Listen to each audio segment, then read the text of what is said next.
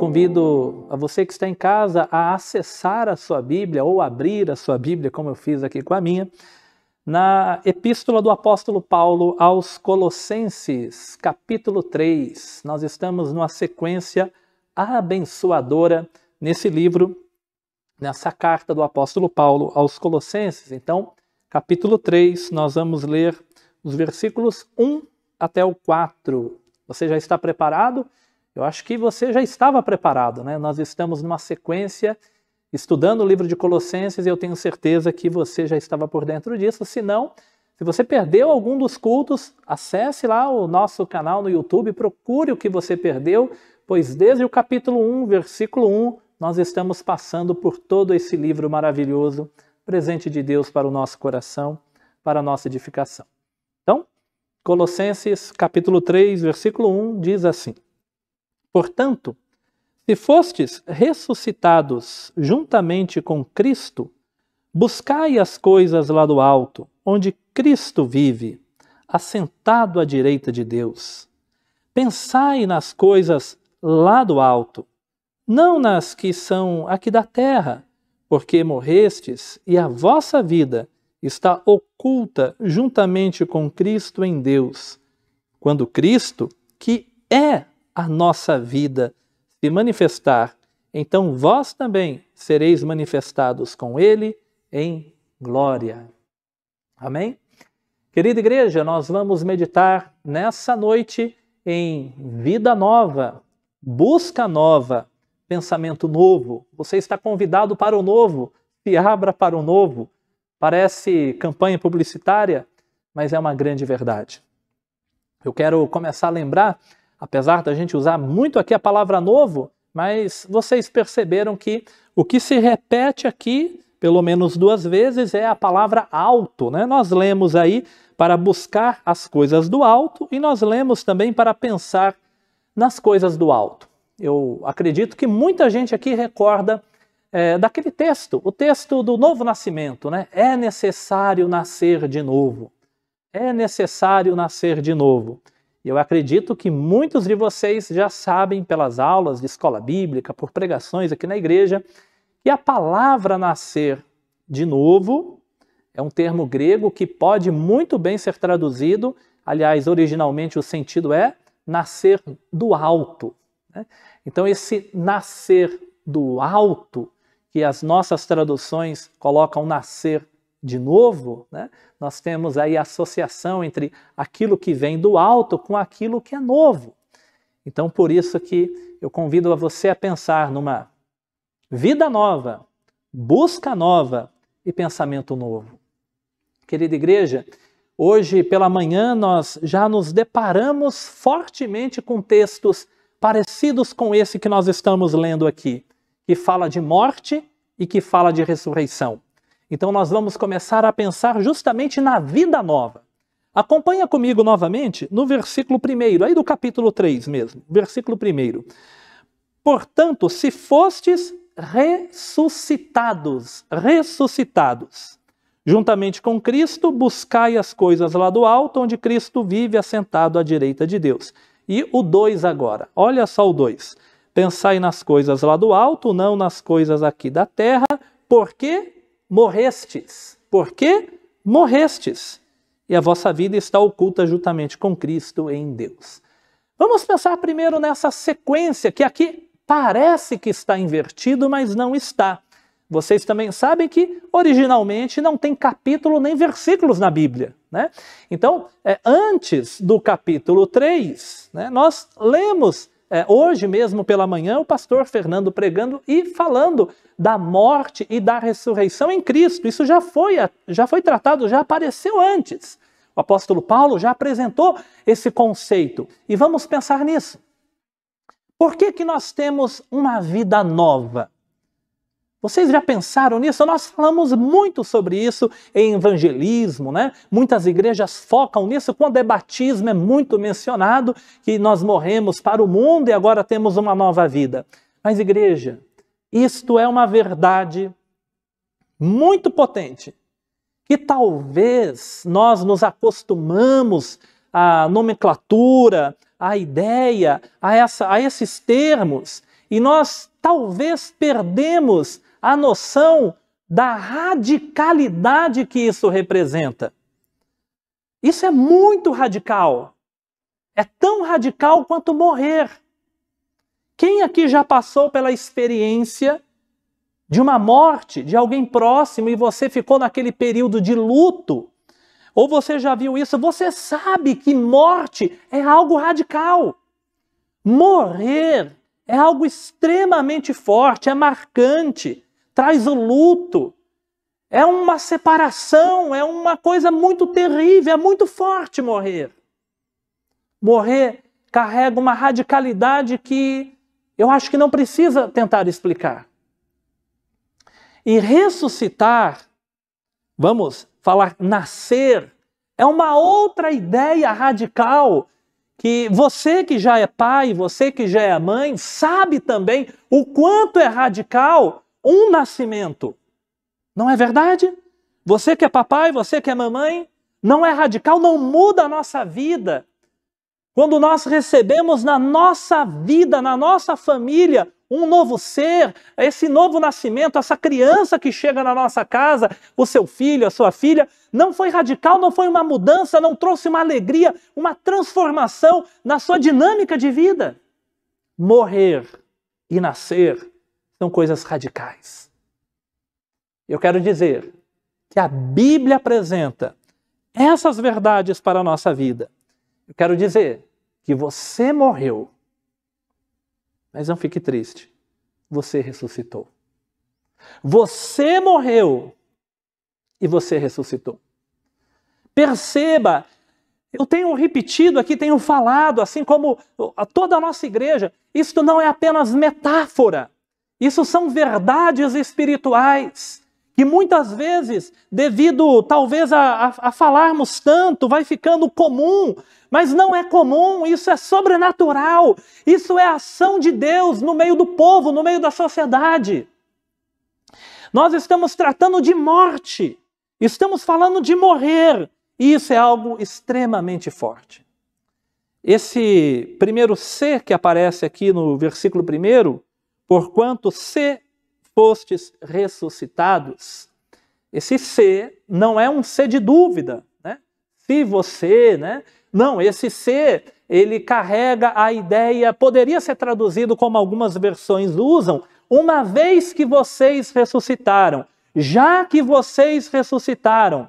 É uma ideia que tenta criar uma lógica para a sequência daquilo que o apóstolo Paulo vai apresentar. Já que vocês morreram, então isso, isso e aquilo. Então não é uma ideia de dúvida, será que eu ressuscitei com Cristo? Será que eu morri? Não, o apóstolo Paulo, ele já apresentou é, no capítulo anterior essa verdade do Cristo que deu a vida pela igreja, pelo seu povo. Ele está dizendo assim: olha, Igreja Batista de Nova Jerusalém, já que vocês ressuscitaram com Cristo, já que vocês morreram com Cristo, então Aí ele desenvolve as verdades que nós vamos meditarmos hoje. Mas primeiro vamos pensar um pouco mais na radicalidade da morte. Eu quero dizer que o seu atestado de óbito já saiu. É radical, né? O seu atestado de óbito já saiu e lá consta que você morreu crucificado. Como disse o apóstolo Paulo, que ele estava crucificado para o mundo com Cristo crucificado. Você morreu de crucificação. O seu atestado de óbito ele já saiu. Você já morreu. E o apóstolo Paulo parece-nos, né, e isso não parece, mas é verdade, essa verdade que ele trabalha vai aparecer em muitas das suas epístolas, especialmente, né, aí eu me faço repetir o que o pastor Fernando já citou pela manhã, Romanos vai falar muito disso, por isso vamos ler agora Romanos capítulo 6, versículo 8, que diz assim: Ora, se já morremos com Cristo, se já, já, tá, já morremos com Cristo, cremos que também com Ele viveremos. Nós já morremos. Você tem medo de, de gente morta? então se olhe no espelho e se assuste, porque você já morreu com Cristo. Mas olha que beleza, não apareceu nenhum zumbi, não apareceu nenhum fantasma. Pelo contrário, uma nova vida surgiu. Nós podemos ler essa mesma verdade também em Romanos, capítulo 6, versículo 1 e 2. Que diremos, pois? Permaneceremos no pecado para que seja a graça mais abundante? De modo nenhum. Como viveremos ainda no pecado, nós, os que para ele morremos? Morremos. Querida igreja, a morte, o que, que significa a morte? A morte é o rompimento da vida. A vida cessou. Lá na, no texto poético de Eclesiastes, né, ele compara com aquele fio de prata que se quebra, né, e o, o vaso se estilhaça toda, todo e se arrebenta. Eu quero dizer que você morreu. Morte significa rompimento da vida. Uma determinada vida que você teve se acabou. Eu nem separei para a leitura o texto, mas hoje pela manhã foi lido e eu quero lembrar, na leitura da manhã, hoje, no capítulo 2, nós lemos lá no versículo 12. No capítulo 2, versículo 12, volta uma página da sua Bíblia e leia comigo. Tendo sido sepultados, olha, você já está até sepultado, tendo sido sepultados juntamente com Ele no batismo, no qual igualmente fostes ressuscitados mediante a fé no poder de Deus que o ressuscitou dentre os mortos. E o 13? O 13 também. E a vós outros que estáveis mortos pelas vossas transgressões e pela incircuncisão da vossa carne, vos deu vida juntamente com ele, perdoando todos os nossos delitos. Vós que estáveis mortos, querida igreja, isso lembrando os textos de Efésios, que é muito forte quando Paulo fala que nós estávamos mortos em delitos e pecados, e aqui ele fala a mesma verdade. Você, quando estava vivo para o mundo, vivo para o pecado, vivo para a carne, vivo para Satanás, você estava morto para Deus. O que significa a morte? É o rompimento da vida. Aquela sua vida na transgressão, aquela sua vida para o mundo, aquela sua vida para o pecado, aquela sua vida para esse sistema corrupto morreu, se rompeu. Você agora está sepultado para o mundo. Quando nós passamos em frente de um cemitério, quando nós visitamos um cemitério, nós não podemos falar com os mortos. Irmãos, isso é impossível, tá? Não cremos nisso, não falamos com os mortos. Aqueles que estão lá sepultados, sepultados estão e não se levantarão até o dia de um juízo final. Estão mortos, rompeu com a vida. Você está sepultado. Você morreu. Uma morte aconteceu. Eu quero que você recorde dessa verdade. Você morreu, está morto, está sepultado. O mundo, a carne, o diabo, ele tem que olhar para você e pensar: não posso fazer mais nada. Vocês já ouviram a, a expressão enquanto a vida, a esperança? Não é isso que nós vivemos muitas vezes? Um parente nosso internado, ligado a aparelhos, nós pensamos, não, ainda tem esperança dele voltar a viver. Aí o médico talvez queira desligar o aparelho e a gente pensa: não, deixa, porque talvez volte a viver. E aqui vai uma linda verdade. Você não tem que estar ligado ao mundo nem por aparelhos. Você morreu para ele.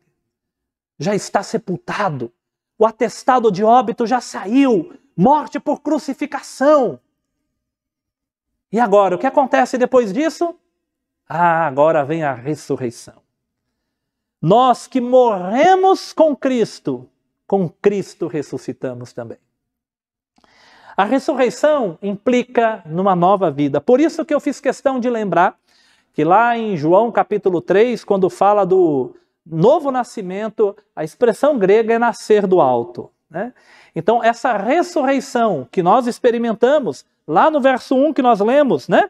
Se vós já ressuscitastes com Cristo Jesus, se fostes ressuscitados juntamente com Cristo, igreja, nós ressuscitamos, já ressuscitamos. É evidente que nós vamos experimentar ainda uma ressurreição que significará a transformação desse corpo mortal, que será revestido da imortalidade, da eternidade. Mas já nessa vida, nós já experimentamos o poder da ressurreição. Mas essa ressurreição não significa uma revida, não é reviver, não é voltar à vida que você tinha antes, mas essa ressurreição significa uma nova vida que veio sobre o seu ser. Porque você que vivia para o mundo, para o mundo morreu, sepultado está. Mas agora eis que levanta uma nova vida. É uma vida que vem do alto, é uma vida que nasceu do alto, é uma vida que experimenta a vida de Cristo. Agora, o poder da ressurreição de Jesus atua sobre nós. Eu te convido a ler comigo um dos textos que eu acho mais impressionante da Bíblia. Eu quero que você guarde ele no coração. Romanos capítulo 8, versículo 11 se habita. Não se esqueça que muitas vezes esse se não é o se da dúvida, é o se logo que, uma vez que, já que habita em vós o espírito daquele que ressuscitou a Jesus entre os mortos. Esse mesmo que ressuscitou a Cristo Jesus dentre os mortos, vivificará também o vosso corpo mortal por meio do seu espírito que em vós habita. Que em vós habita. Abre falando que o espírito habita, fecha falando que o espírito habita. E nesse texto, o apóstolo Paulo também, ele fez questão de identificar algo do espírito de Deus. Não é apenas o espírito do poder, não é apenas o espírito consolador, mas é o espírito daquele que ressuscitou Jesus dentre os mortos é o espírito da ressurreição, é o espírito que vivifica até mesmo o corpo mortal. Sabe o que esse texto significa? Significa que o poder da ressurreição de Jesus, ele já habita em nós. Como diz um pastor que eu admiro muito, a eternidade já habita em mim. O espírito daquele que ressuscitou Jesus entre os mortos, ele já habita em nós e ele vivificará também o nosso corpo mortal. Você já experimenta o poder da ressurreição. Ainda que esse corpo terreno, esse corpo presente, esteja deteriorando dia após dia, o homem interior vai se renovando de glória em glória. Ainda que esse corpo externo esteja de fato morrendo e irá morrer, mas não tenha medo. O espírito da ressurreição, o poder da ressurreição, ele já mora em você. Não tenha medo, porque você não vai ficar na morte. Você não vai ficar retido na morte. A morte não pode mais te reter. A morte não tem mais o poder de te segurar. Porque quando você entrar na esfera da morte, o poder da ressurreição já está habitando em você, de modo que toda aguilhão, toda força da morte já foi vencida, já foi despojado, já foi humilhado, como disse hoje pela manhã, já foi envergonhado na cruz, porque na morte de Jesus a morte foi vencida. E a vitória não foi apenas para Jesus, mas Jesus morre para conquistar a vitória para nós. E agora, o poder da ressurreição já te habita.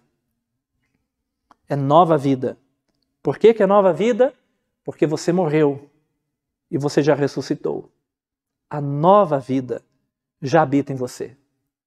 Ainda que não seja em toda a sua plenitude, ah, mas como será maravilhoso quando alcançarmos essa plenitude! Como é gostoso descobrirmos, olharmos para trás e vermos que a nossa vida está crescendo, está evoluindo, está se desenvolvendo de glória em glória.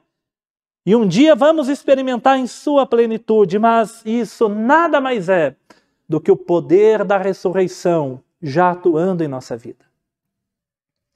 Você já morreu, você ressuscitou. Assuma diante do mundo a vida de um morto para o mundo. Assuma diante do mundo a vida de um ressuscitado, de uma nova pessoa, uma pessoa que carrega o poder da ressurreição. Isso nada mais, nada menos significa que é Jesus em nós. É Jesus em nós. Será possível, muitos perguntam, morrer para o mundo?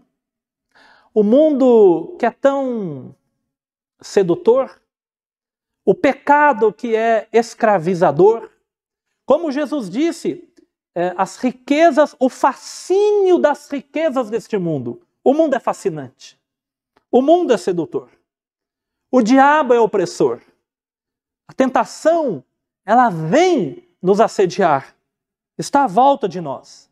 Será possível vencer tudo isso? Será possível já experimentarmos uma vida nova? Isso só é possível pelo que está aqui no texto. Eu quero que vocês reparem quantas vezes nós encontramos que é Jesus em nós. Vamos reler todo esse trecho nosso aqui de, de Colossenses do, do 3, o verso 1 ao 4. Eu quero que vocês reparem. Vamos lá, você vai grifar agora aqui na sua Bíblia. Portanto, se fostes ressuscitado juntamente com Cristo, você ressuscitou com Cristo. Com Cristo. Buscai as coisas lá do alto, onde Cristo vive, assentado à direita de Deus. Pensai nas, nas coisas lá do alto, não nas que são aqui da terra. Porque morreste e a vossa vida está oculta juntamente com Cristo. A vossa vida está escondida, está oculta juntamente com Cristo. A sua vida está com Cristo em Deus. Quando Cristo, que é a nossa vida, Cristo é a nossa vida. Cristo é a nossa vida. Se manifestar, então vós também sereis glorificados com Ele, com Ele em glória. Então nós encontramos aí quatro expressões que vão dizer que a sua vida está com Cristo, está nele. Ele é a nossa vida. Eu vou repetir o que eu falei na semana passada, o que eu falei meses atrás, o que o pastor Fernando falou meses atrás a verdade da videira verdadeira, dos galhos conectados na videira, de aquele que come da minha carne tem parte em mim, e quem não come não tem. Então você come o pão, hoje participamos da ceia, você comeu o pão, ingeriu o pão, ele entrou em você, faz parte de você. Com Cristo, com Cristo. A sua nova vida, ela só é possível porque não é a sua vida que voltou, mas é a vida de Cristo que se misturou com a sua vida, de forma que a vida que você agora tem é a vida de Cristo manifesta em você, no seu corpo, na sua carne mortal. É Ele em nós. Por isso que podemos experimentar o que significa de fato a morte para os rudimentos deste mundo, como foi dito pela manhã. De fato que agora podemos experimentar o que é o poder da ressurreição, porque ele está em nós. É com Ele que morremos, é com Ele que ressuscitamos e é com Ele que vivemos. Querida igreja, agora vamos pensar na sequência dessa verdade. E agora? Nova vida. O que vamos fazer nessa nova vida? Você já pensou em, se fosse possível, resetar tudo? Você tem levado uma vida da forma que só você sabe. Dá um reset, né? Zero o jogo, começa tudo de novo. Será que é possível resetar, zerar, começar tudo de novo? A palavra de Deus está dizendo que uma nova vida é possível. É possível vencer a vida escravizadora, porque já foi despojado o inimigo. Agora a nova vida está diante de você, não porque você pode, mas porque Cristo pode em você. Mas e agora? Resetamos a vida zerou. O escrito de dívida é outro texto maravilhoso. Né? O pastor Fernando disse que é um dos preferidos dele, também é um dos meus, e eu quero que seja um dos seus. Esse texto que foi lido pela manhã, lembra lá do capítulo 2, né? o verso 14, foi lido pela manhã, tendo cancelado o escrito de dívida. Ah, tendo cancelado o escrito de dívida que era contra nós e que constava de ordenanças, o qual nos era prejudicial, removeu inteiramente encravando na cruz. Bom, esse texto ele só é o preferido daqueles que sabem que tinha muitas dívidas. E nós tínhamos muitas dívidas. Você sabe o que estava reservado para você: um lago de fogo, um afastamento de Deus, destituído da glória de Deus, da presença de Deus. Nós, com uma dívida eterna, impossível de ser paga. E esse texto ele é um dos mais preciosos de todo aquele que sabe que alguém pagou a dívida impagável, que alguém removeu o escrito de dívida. Esse texto se torna maravilhoso. Então resetou, zerou. E agora? O que fazer? Nova vida. O que vamos fazer? Vida nova, busca nova. Vida nova, busca nova. Vamos ler novamente o verso 1 aí do capítulo 3? Portanto, se fostes ressuscitados, já que vocês ressuscitaram juntamente com Cristo, buscai as coisas lá do alto, onde Cristo vive, assentado à direita de Deus. Buscar. Agora que a sua vida foi resetada, é uma vida nova, como que nós vamos buscar as coisas velhas se agora nós temos uma vida nova? Já que temos uma vida nova, busquemos coisas novas. Já que nós recebemos a vida do alto, nascer do alto, busquemos as coisas do alto e não as coisas de baixo. Agora você é um ser superior. Não para orgulho nosso para menosprezar outras pessoas, pois essa graça está disponível a todos. Agora, igreja, buscar. O que é buscar? Ah, igreja, querida igreja, amada igreja, será que temos buscado? Buscar envolve uma ideia de uma atividade, de algo perseverante, de uma coisa que é intensa. É buscar. Buscar é procurar. Buscar é se levantar, é ir atrás. A ideia, igreja, não é que você recebeu a vida nova e agora você ficar sentado e tudo está. É, não precisa fazer mais nada. Não é isso. Você tem a vida nova, mas agora levanta e busca as coisas do alto. A vida nova nós recebemos. E de graça de graça, pois estávamos mortos para Deus e agora vivemos para Deus e morremos para o mundo pela obra de Cristo. Mas agora, com a vida de Cristo, nós não devemos cruzar os braços e falar: pronto, não há mais nada a ser conquistado. Agora, com vida nova, busca nova. Buscai as coisas do alto. Buscar não é esperar, como alguém que fica sentado pacientemente esperando cair do céu alguma coisa, mas buscar envolve uma intensidade, envolve um ir atrás, envolve uma perseverança. Eu nem pedi para separar o texto, mas aqui mesmo na igreja hoje à noite eu me lembrei do texto de Jeremias, capítulo 29, versículo 13, quando o profeta Jeremias disse: Buscar-me-eis e me achareis, quando me buscardes de todo o vosso coração. Pessoal aqui é rápido, é bom de Bíblia aqui, né? Não tinha separado esse versículo, hein? Mal comecei a ler, já estava aqui. Buscar-me-eis e me achareis, quando me buscardes de todo o vosso coração. Eu posso lembrar do Salmo, o Salmo 42, versículo 2. O que significa buscar? A minha alma tem sede de Deus, do Deus vivo. Quando? Olha, quando irei e me verei perante a face de Deus? Buscar as coisas do alto. Buscar envolve desejo. Você só busca o que você deseja. Você só busca o que você quer. Você só busca o que você anseia. O salmista, ele tinha um, um desejo tão grande por Deus que, poeticamente, ele diz que ele tem sede de Deus. Quando a gente está com sede, a gente quer água. Quando a gente quer sede, a gente, o, o nosso corpo parece que a, a parte física, a saliva, a mente, parece que nós por inteiro desejamos a água. E nós buscamos a água. E se você vê que você tem que se levantar e ir buscar água, você vai buscar a água, porque você tem sede.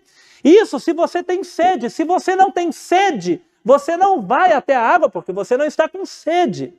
Mas o salmista, ele desejava tanto a Deus, que ele diz: A minha alma tem sede. Sede de Deus. Quando? Ah, Senhor, quando eu irei e me verei diante da Sua face? Busca significa desejo. É aquilo que você quer. Envolve uma busca, envolve uma intensidade, envolve uma ação. E agora eu questiono a mim mesmo. E você deve se questionar. Somos pessoas que buscamos de fato? Ou será que estamos como alguém que não tem sede? E se de repente tiver água, eu bebo, se não tiver, eu não bebo. Ou será que nós somos daqueles que queremos experimentar mais dessa presença? Mais dessa presença gloriosa. Mais, mais e mais. Mais, mais e mais. O quanto eu quero mais. Será que somos daqueles que estamos distraídos com os afazeres em volta, como Marta? Ou será que somos daqueles que nos assentamos e paramos tudo e sossegamos a alma para receber mais e mais e mais de Jesus. Igreja, buscar coisas novas, coisas do alto. Agora, nós não temos mais que buscarmos as coisas que deixamos para trás. Às vezes, o nosso empenho tudo isso que eu disse de sede, de desejo, de empenho, ele é muito forte naquilo que você já tinha na antiga vida. E eu não quero que você despreze algumas coisas da sua antiga vida, como uma universidade, um doutorado, um mestrado, ter uma empresa própria, talvez é, um sucesso financeiro, econômico, profissional. Mas isso você já buscava antes de Cristo com muito empenho. Quantas pessoas sacrificam merecidamente muitos finais de semana se preparando para um concurso público? Às vezes estudando anos seguidos. Eu tenho amigos que sacrificaram durante alguns anos todos os finais de semana, estudando e se preparando. Cortaram cinema, cortaram entretenimento, buscando entender e aprender para quando chegar a prova, serem contemplados com um bom concurso. Isso é louvável. Mas muitas vezes nós não vemos essa busca, esse empenho pelas coisas do alto. Não há nenhum problema, como foi dito de manhã, nós somos gnósticos. Nós ainda temos coisas nessa vida. Mas agora, aquilo que vai nos motivar, nos orientar, nos dirigir é uma nova vida e uma nova busca. Agora a nossa sede por Deus, ela tem que ser muito mais intensa que a nossa sede por outras coisas que nós já manifestávamos, pensando no nosso bem-estar presente. Mas agora, um novo desejo deve ter nos invadido um desejo por conhecer melhor quem é esse Deus maravilhoso que enviou seu Filho para nos salvar. Agora, dentro de nós, tem que estar pulsando em nosso coração, se aproximar, senti-lo mais na oração, conhecê-lo melhor por meio da palavra, por meio da comunhão com o irmão, em estar aqui no templo louvando e adorando ao Senhor, em estar comunicando essa verdade a outras pessoas. Será que nós buscamos de fato? Como está a nossa busca? E muito da nossa busca passada talvez tenha que ser deixado de lado. Outras coisas não. Mas agora, tudo deve ser passado pelo crivo de Cristo. Ele é a nossa principal meta. Eu me lembro do texto da pregação de Estevão, lá no capítulo 7 de Atos, versículo 39. E cuidado para você não estar assim. Estevão, pregando, disse: A quem nossos pais, a quem, esse é Moisés, a quem nossos pais não quiseram obedecer, antes o repeliram, e no seu coração voltaram para o Egito. Nós temos um texto que fala de um povo que fisicamente caminhava para, para a nova Canaã, para Canaã, para a nova terra, para a terra prometida. Fisicamente se dirigiam para a terra prometida, mas no coração voltavam para o Egito. No coração não buscavam a nova terra, no coração buscavam o Egito. O que você tem buscado? Qual que é o desejo maior do seu coração? Qual que é o seu, a sua maior sede? A sua maior vontade? Não tem nenhum problema, você tem uma sede de ser alguém bem-sucedido em determinada área, que você seja, que Deus te abençoe. Mas a nossa maior sede, o nosso maior desejo, o nosso maior anseio tem que ser por mais de Deus na nossa vida, e Deus pode estar presente no seu sucesso, no seu doutorado, no seu mestrado, na sua empresa, no seu desempenho, mas ele tem que ser o principal, ele tem que ser o desejo maior. Talvez agora a mudança seja essa. Antes os seus sonhos, os seus desejos eram alheios a Deus. Agora tudo que você sonha, você vê Deus presente envolvido nele. Se isso não tem acontecido, veja quem você é? Pois você é morto para o mundo e renascido para Deus. E agora, nova vida requer uma nova busca, requer um novo sentido, requer uma nova caminhada. Igreja, como tem sido a sua busca? Como tem sido a sua busca? Vamos fazer um exame de nós mesmos? Como tem sido a sua leitura da palavra de Deus? Como tem sido a sua leitura, o seu tempo de leitura e meditação dessa palavra? Um dos salmos, se não me engano, o salmo 119. Esse eu, eu, nem anotei e nem lembro de cor onde fica, mas eu acho que é o salmo 119. Ele diz o quanto ama a sua lei. Se não fosse a sua lei, há muito teria perecido. O quanto eu amo a sua lei. Se não fosse a sua lei, há muito teria perecido. Nós temos no Salmo 1, temos em Josué, capítulo 1, a ideia de meditar na palavra de dia e de noite. Falar da palavra de dia e de noite. E meditar. Como tem sido a sua vida no que diz respeito à palavra de Deus? O que você pensa durante o dia?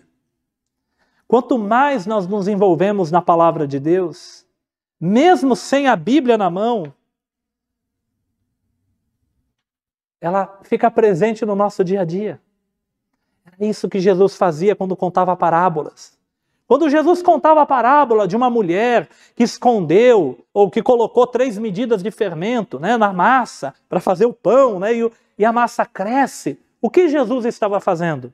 Amanhã, quando aqueles que ouviram Jesus verem as suas esposas ou as suas mães fazendo o pão, fazendo a massa, eles vão lembrar do que Jesus disse.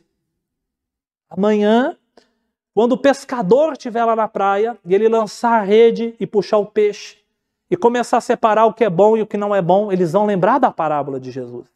Amanhã, quando os trabalhadores estiverem na vinha e eles verem os frutos da videira, eles vão lembrar da parábola de Jesus. Amanhã, quando eles verem as aves no céu e os lírios no campo, eles vão lembrar da pregação de Jesus. Você consegue ver a palavra de Deus mesmo sem a Bíblia nas suas mãos? Em um filme? Em uma série? Numa conversa? Em uma família? Você consegue perceber como que está o seu envolvimento, o seu desejo, sua busca na oração? Vamos ter vigília em breve. Será que buscamos a Deus mesmo? Você vai estar presente. Talvez você não possa, mas se você pode, esteja. Como que estão os pequenos grupos de oração? Você faz parte do pequeno grupo de oração? Como que está a escola bíblica dominical? Você faz parte da escola bíblica dominical? Como que você gasta o seu dinheiro? Você tem comprado boas literaturas para aprender mais da palavra de Deus? Como que está o seu tempo no YouTube? Você tem gastado o seu tempo para ouvir boas mensagens, bons louvores que edificam? Como que está o seu tempo no carro? Como que está o seu tempo indo para o trabalho? O que você escuta? Tem sido louvores abençoadores, mensagens abençoadoras? Como que está o seu desejo por mais de Deus, mais de Deus, mais de Deus? Será que temos buscado de fato? Ou será que a nossa busca ela se reduz a um domingo apenas, a um nem um domingo inteiro, talvez apenas algumas horas no domingo na semana? Será que a nossa busca se reduziu a uma hora e meia, duas horas e meias por semana? Será que buscamos de verdade? Buscar as coisas do alto. Querida igreja, isso serve para mim também, tá? Para todos nós. A palavra de Deus, ela está nos despertando, ela está nos lembrando. Olha, igreja, você morreu, você recebeu vida nova. Então agora busca as coisas do alto. E sobre as coisas do alto, eu quero quebrar algumas ideias não tão verdadeiras e equivocadas. Às vezes parece que coisas do alto são coisas místicas, coisas misteriosas que talvez estejam alheias ao nosso dia a dia, mas vamos pensar, por exemplo, Mateus 4:17. Então nós lemos assim, ó: Daí por diante passou Jesus a pregar e a dizer: Arrependei-vos, porque está próximo o reino do céu. Jesus começou a pregar: arrependei-vos, porque está próximo o reino dos céus. Igreja, eu quero dizer que buscar as coisas do alto, mas que se manifestam na terra. Quando Jesus começa a pregar, ele diz: se arrependam, porque olha, eu estou trazendo, está chegando aqui, ó, está chegando aqui na terra, o reino do céu se manifestando aqui. O reino dos céus é dos céus, mas está na terra, se manifestando na terra. Como que Jesus ensinou a orar? Mateus capítulo 6, versículo 10. Nós lemos: Venha o teu reino. O reino é de Deus, o reino é do céu, mas que ele venha, que ele venha. Buscar as coisas do alto, o reino é dos céus, mas que o teu reino do céu se faça presente na terra. Vamos mudar a. Me perdoem as sociedades bíblicas, mas eu vou mudar aqui esse versículo. Faça-se a tua vontade, assim na terra como no alto. Faça-se a tua vontade, assim na terra como no céu, como no alto. Buscar as coisas do alto. Buscar as coisas do alto é buscar a realização aqui na terra da vontade de Deus, como acontece no céu, como acontece no alto. Igreja querida, nós lemos ainda em Lucas 17, 20 e 21. Olha só que lindo. Interrogado pelos fariseus sobre quando viria o reino de Deus, ó, quando viria, ele vem aqui na terra. Jesus lhe respondeu: Não vem o reino de Deus com visível aparência. Nem dirão, ei-lo aqui ou lá está, porque o reino de Deus está dentro de vós. O reino de Deus está dentro de vós o reino do alto, o reino dos céus se manifesta em nós. A pergunta é: será que esse reino tem se manifestado aqui na terra? Será que nós temos sido expressão da realização da vontade de Deus na terra, assim como é no alto, assim como é no céu? O apóstolo Paulo pede para buscar, buscar as coisas do alto. Buscar as coisas do alto. Nós lemos ainda em Lucas 24, 49. O poder vem do alto. Buscar as coisas do alto.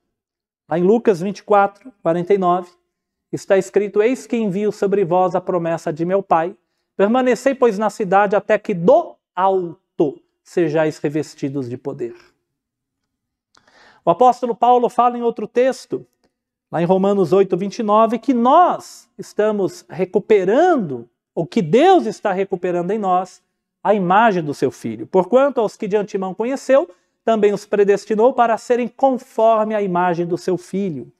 Igreja, nós já temos a ressurreição e o espírito da ressurreição em nós. Amém? Nós já temos. Mas o poder vem do alto. O fruto desse espírito que veio do alto precisa se manifestar em nós. Esse reino que é dos céus, ele tem que se manifestar dentro de nós, em nós, em nosso meio. A igreja, ela precisa ter a coragem de chegar para o mundo e dizer para o mundo assim: mundo, arrependa-se, pois é chegado o reino dos céus.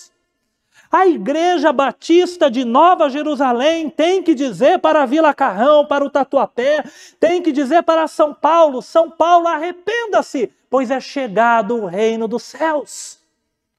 E ele se manifesta aqui. Nós estamos trazendo ele. Ele está se manifestando, é do alto, mas está se manifestando entre nós. Pois o poder do alto desceu aqui. O fruto do Espírito do alto, da ressurreição, ele está aflorando, está florescendo. A primavera chegou. As flores já nasceram em Nova Jerusalém.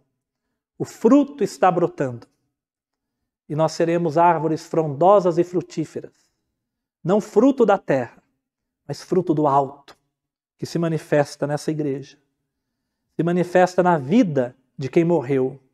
Não é fruto de morte, fruto da vida. É árvore da vida e quem comer desse fruto nunca mais terá fome. E quem comer desse fruto nunca mais vai morrer. E quem comer desse fruto que nasce em nós, não porque nós somos poderosos, mas simplesmente porque somos os galhos da videira. E a vida da videira flui em nós de forma que um fruto novo, que jamais teríamos por nós mesmos, tem nascido. Ele precisa ser conhecido. Por isso, busquemos as coisas do alto. Mas são coisas do alto que se manifestam na terra. Igreja, o apóstolo Paulo falou não para os irmãos que morreram. O apóstolo Paulo não está escrevendo para quem já partiu para a glória e subiu para o alto. O apóstolo Paulo escreveu para quem está na terra. Então, não adianta, presta atenção nisso, não adianta querer buscar as coisas do alto quando você estiver no alto. Você tem que buscar as coisas do alto quando você estiver aqui na terra. Agora que estamos na terra, precisamos buscar as coisas do alto, pois a vontade de Deus é manifestar na terra as coisas do alto, para que aqueles que estão presos a este mundo conheçam as coisas do céu e, encantado pelas coisas do céu, se desapeguem do mundo e nasçam para Deus. Vou repetir: não adianta buscar as coisas do alto quando você estiver no alto. Quando você morrer, ah, quando eu conhecer a Deus, aí eu vou buscar a Deus de todo o coração, pois o verei. Busque agora as coisas do alto, para que o alto se manifeste em você que é terreno, até que você seja revestido desse poder do alto. Nós podemos lembrar de Martinho Lutero, Martin Luther King, William Carey, quem você quiser, John Wesley, Charles Spurgeon, George Miller. George Miller, fundador de vários orfanatos na Inglaterra. Com pouco dinheiro, mas orando e confiando em Deus, preocupado com crianças de rua, mas abrindo orfanatos para que essas crianças tivessem um lar cristão. Sabe o que George Miller estava fazendo? Manifestando coisas do alto na terra. É o reino dos céus aparecendo em Londres, em Bristol, em várias cidades. Martin Luther King, lembra? Eu tenho um sonho, pastor, que mostrou para essa sociedade que o reino do alto pode se manifestar na terra por meio de homens que mostram o que significa o amor ao próximo, Homens que, com sua vida, manifestaram coisas que só pode ser do alto. O Martin Luther King, tantos outros homens de Deus. Esses são os mais famosos, né? Mas você conhece pessoas maravilhosas. Aqui é a nossa igreja. Não vou falar nome para não privilegiar um ou me esquecer de alguém, mas a nossa ação social. Mas algum pastor que você conhece, algum irmão que talvez nem seja pastor, talvez ninguém saiba. Mas sabe o dia que ele manifestou o amor que te tocou, que te perdoou, que te recuperou, que te levantou? Eu tenho certeza que o poder do alto se manifestou no terreno. Buscai as coisas do alto. Mas agora, irmãos, agora que estamos impregnados do perfume de Cristo. Ah, que texto, outro texto sensacional. Aonde chegamos, o perfume de Cristo tem que impregnar. O alto, o Cristo está no alto, diz o texto que nós lemos. Buscai as coisas do alto onde Cristo está sentado. Mas Cristo está em nós. Nós lemos aqui quatro vezes a vida dele em nós. De forma que, quando alguém entrar aqui, talvez não veja Jesus, mas sinta o perfume de Jesus em nós, pois ele está presente. O alto se manifestando no terreno. E por fim, se é nova vida, se é nova busca, é novo pensamento também. Nós lemos no verso 2 Aí de Colossenses 3, o verso 2: Pensai nas coisas lá do alto, não nas que são aqui da terra. Pensai nas coisas lá do alto. A nossa vida nova nos leva a uma busca nova. Isso é natural. Por isso que maravilhosamente bem foi dito pela manhã e dito aqui pelo apóstolo Paulo também no, no final do capítulo 2, não é as ordenanças, não faça isso, não coma aquilo. Né? Não é as proibições, como no passado muitas igrejas tentavam eh, impor determinados usos e costumes. Nós estamos falando de uma vida nova.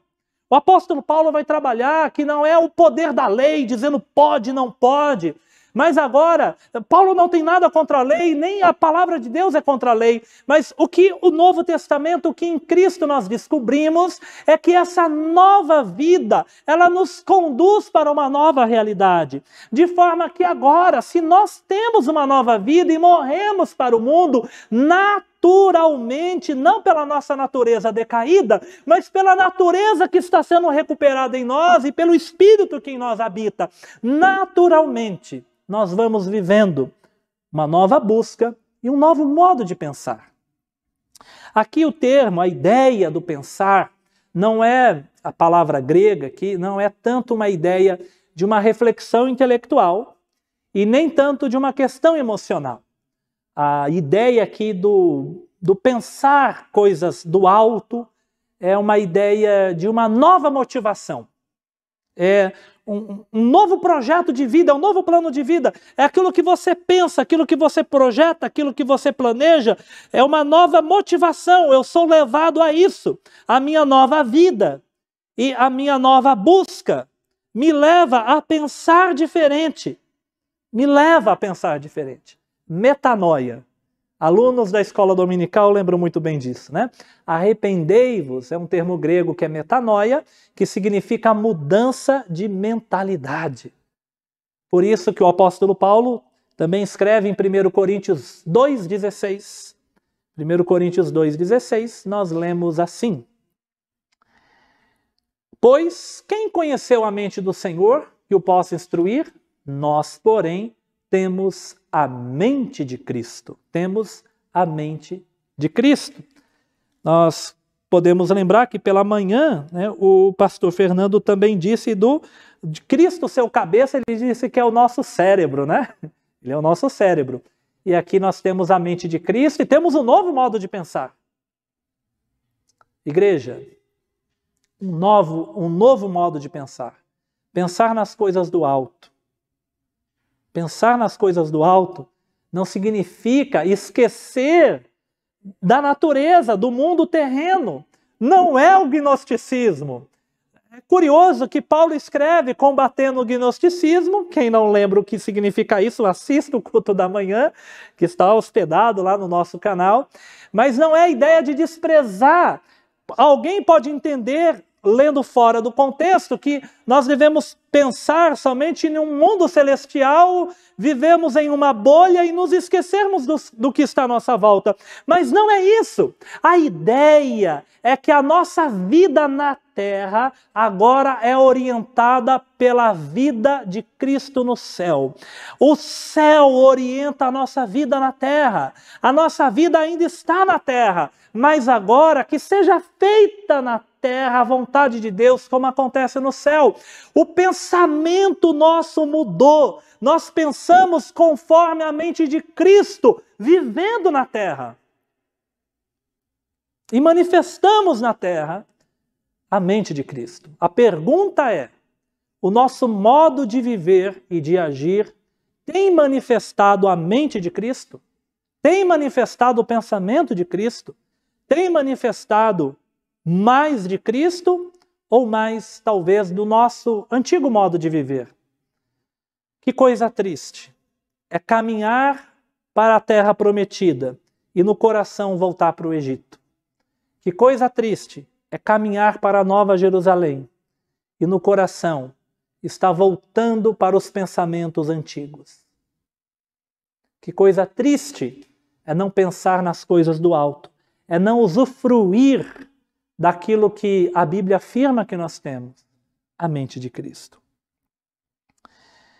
Querida igreja, no nosso novo, novo mundo, modo de pensar, eu quero lembrar que é um pensamento peregrino, é um pensamento de um estrangeiro. O peregrino é aquele que está numa viagem, numa caminhada por uma terra estranha, uma terra que não é dele. Com certeza, nesse caminhar, o seu coração de peregrino está na sua pátria, seu coração de exilado, seu coração de estrangeiro, seu coração de peregrino está na sua pátria. Vamos ver isso em Hebreus capítulo 11, versículo 13 e 16, e várias das verdades que foram ditas aqui, elas se refletem nesse texto. Então, todos estes morreram na fé, sem ter obtido as promessas Vendo-as, porém, de longe e saudando-as e confessando que eram estrangeiros e peregrinos sobre a terra. Porque os que falam desse modo manifestam estar procurando buscar as coisas do alto, está procurando, volta lá um, um pouquinho, procurando uma pátria, buscando, buscar, procurar, está procurando uma pátria. E se na verdade se lembrassem novo modo de pensar, nós não voltamos o nosso coração para o Egito, nós nem nos devemos nos lembrar da nossa antiga vida no sentido de desejar, de projetar a nossa vida como era antes, pois agora temos vida nova. E se na verdade se lembrassem daquela de onde saíram, teriam oportunidade de voltar. Mas agora, aspiram. Lembra? A busca, que é o desejo, assim como a corça anseia pelas águas, né? É o desejo, mas agora aspiram, desejam, buscam a uma pátria superior, isto é, celestial. Por isso Deus não se vergonha deles, de ser chamado seu Deus, porquanto lhes preparou uma cidade. Então, o nosso pensamento, a nossa orientação de vida, o nosso projeto de vida, o nosso, a nossa forma de projetar a nossa existência, nossa forma de pensar, tem que ser o pensamento do peregrino. Nós estamos na terra, estamos no mundo, mas não somos do mundo. Porém, ele não quer que nós saiamos do mundo, pois estamos no mundo para testificar de Cristo. E é curioso que aqui tem uma coisa triste que geralmente as pessoas passam meio por cima, assim, né? Porque esses heróis da fé, está escrito que eles não obtiveram as promessas. É curioso que a Bíblia não tem ressalva, né? A gente tem um monte de ressalva. Ah, eu não vou dizer que vai pegar mal, né? Que um determinado profeta, ah, ele tinha uma promessa e não aconteceu. O texto bíblico não tem nenhuma ressalva. Não obtiveram as promessas. Saudaram de longe, de longe. Não recebi a promessa aqui na minha vida. Talvez se cumpra na vida do meu filho, do meu neto. Vou morrer sem ver o cumprimento dessa promessa. Abraão será o pai de uma grande multidão. Nem viu. Morreu. Mas de longe ele deu um tchauzinho. saudando de longe. Mas Abraão não ligou. Os profetas não ligaram. Por quê? Porque o coração deles não estava aqui, estava lá. Nas coisas do alto, nas coisas de cima. Vivendo aqui na terra, recebendo promessas de Deus. E uma coisa muito interessante: eles não foram viver de modo recluso, eles não é, se desapegaram do. Da, de existir nessa vida, como se essa vida perdesse todo o significado de importância, mas não, eles continuaram vivendo as suas vidas, mas agora orientados pelo céu. Quem são essas pessoas? Profetas, sacerdotes, reis, governadores, como José governa o Egito, salva o Egito, Moisés liberta o povo da escravidão, entrega a lei para o povo, encaminha o povo, ensina o povo. Nós temos Samuel, juiz, profeta e rei. Nós temos tantos homens aqui que foram escritores, trabalharam, viveram nessa vida, mas o seu coração estava desejoso pelas coisas do alto. Então eles passaram por essa vida, deixando marcas do céu deixando marcas da eternidade, deixando marcas das coisas do alto. Muitas vezes recebendo promessas e falando que maravilha, Deus tem uma promessa aqui nessa vida. Ah, mas não vai acontecer agora. Então, tchau, né? Tchau, vai acontecer dentro do desígnio de Deus, mas eu me vou porque eu desejo a pátria celestial. No seu coração aspira, deseja o que é celestial. Pensar as coisas do alto pensar nas coisas do alto. Significa que os seus projetos, os seus planos têm que estar embebido, têm que estar inserido com coisas do alto. A minha pergunta é: o quanto de coisas do alto faz parte do seu pensamento, do seu plano de existência, do seu plano de vida, seu plano de carreira? Será que, vamos refletir, será que o nosso pensamento para a nossa vida ainda é parecido com o nosso pensamento antes de Cristo? Será que o nosso plano de carreira, de universidade, de mestrado, de trabalho, de comprar, de ter, ainda é igual? Não mudou nada. Você ainda pode ter aqueles planos antigos é, em certas coisas como um plano de carreira, de universidade, de formação, mas agora permeado pelas coisas do alto. As coisas do alto têm que inserir, se envolver em todo o seu projeto de vida. Isso nos leva a modificar projetos. Isso nos leva a criar novos projetos. Isso nos leva a, a, a, reconfigurar a nossa forma de pensar. Pois antes era um pensamento só nosso, para nossa satisfação. Mas agora estamos cheios das coisas do alto e essas coisas do alto elas têm que se manifestar na nossa forma de pensar. E essa forma de pensar não é só o pensamento de agora, não é só uma meditação. Essa forma de pensar é como nós nos organizamos, nos planejamos, nos orientamos, nos motivamos a existir, a prosseguir dia após dia, mês após mês.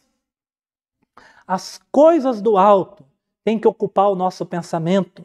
E se as coisas do alto ocupar o nosso pensamento, os nossos planos e projetos não serão como antes. Agora, a presença de Deus toma conta de tudo. Agora, alguém que talvez sonhava em ser um médico, para ser bem sucedido, Talvez agora ele ainda sonhe ser um médico, mas para salvar vidas e talvez ser uma mão de Deus levando cuidado sobre muitas pessoas. Talvez aquele que desejava a área da medicina, ele deseja agora como um missionário. Talvez aquele que desejava ser um professor, talvez pensando só na profissão, talvez agora ele pense em ensinar também o reino de Deus. Aquele que pensava em ter bens materiais nessa vida para o seu conforto, talvez agora ele pense ainda em ter os bens materiais, mas para atender a quem necessita. Então, o nosso a nossa nova vida nos leva a uma nova busca e nos leva a um novo modo de pensar. E que Cristo reconheça isso em nós. Como pode? Como é possível nós que morremos e ressuscitamos manifestarmos pensamentos de outrora. Isso pode acontecer. Por isso que Paulo ele fala: olha, busca, pensa. O novo nascimento você experimentou, é graça. Mas aqui ele dá algumas ordens: buscai, pensai, porque senão o pensamento antigo ele quer te assaltar. Vamos ver isso para a gente ir para a nossa conclusão? Lucas capítulo 9, versículos 53 a 56. Olha um pensamento antigo se manifestando na vida dos discípulos. Mas não receberam, porque o aspecto dele era de quem decisivamente, decis, decisivamente ia para Jerusalém. Vendo isto, os discípulos, Tiago e João, perguntaram: Senhor, queres que mandemos descer fogo do céu para os consumir? Jesus, porém, voltando-se, os repreendeu e disse: Vós não sabeis de que espírito sois. Pois o Filho do Homem não veio para destruir as almas dos homens, mas para salvá-las. E seguiram para outra aldeia. Nesse texto, dois dos apóstolos de Jesus manifestaram um pensamento que não é o pensamento de Jesus. Vocês viram? Jesus não foi recebido. E eles ainda com a sutileza religiosa, chegam para Jesus e falam: Senhor, podemos orar e pedir para Deus para descer fogo do céu e consumir esses samaritanos que não querem te receber? Veja, nós ia manifestar um milagre, ia manifestar algo sobrenatural, parece que é pensamento de Deus. Aí Jesus fala: vocês não sabem de que espírito vocês sois. Será que nós sabemos qual é o nosso espírito? Qual é a nossa mente? Nós temos a mente de Cristo. Mas será que a mente de Cristo tem se manifestado em nós? Ou será que ainda é uma mente de ódio, de rancor, de querer destruir, de não querer congregar, de não querer ajudar, de não querer manifestar o fruto desse bom espírito? Vós não sabeis de que espírito sois. Nós sabemos nós conhecemos. Aqui nós temos como ordenança quando Paulo diz: a ressurreição e a morte é uma verdade dada. Vocês morreram, vocês ressuscitaram. É bênção, glorifica a Deus, você experimentou isso. Isso está diante de você como verdade dada. O atestado de óbito já saiu. Mas agora nós temos duas ordens: buscai as coisas do alto pensai nas coisas do alto. Então, é competência nossa buscar e pensar, pois a vida nova ele já nos deu. Ele nos deu vida nova, busca nova e pensamento novo.